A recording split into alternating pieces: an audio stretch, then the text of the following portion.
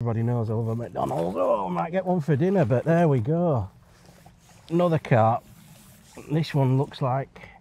Oh, look at that, James, for a carp. How lovely that is. Lovely looking carp, that.